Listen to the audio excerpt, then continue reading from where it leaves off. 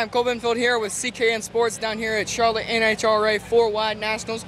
We're here with Amber Gray, the mother of Tanner Gray and the wife of Shane Gray. Does it ever get scary to see them race because it's very dangerous? These cars are built really well and they've got a lot of safety precautions in them. 2012, Shane wrecked really bad out here. And after seeing what he went through and he climbed out of the car and all the safety, that doesn't make me as nervous anymore. I probably get more nervous when I watch Tanner on the circle tracks on the dirt racing because there's a lot more that contact that can happen. Racing is a great sport to be involved in. We try to make it as much of a family sport as we can. When Shane decided in 2010 that this is what he wanted to do professionally, we all moved from New Mexico to North Carolina to start up the business. Being out here with all the people that you are, you learn to become extended family. And We're very blessed to be out here as a family. What's it like traveling all over the country?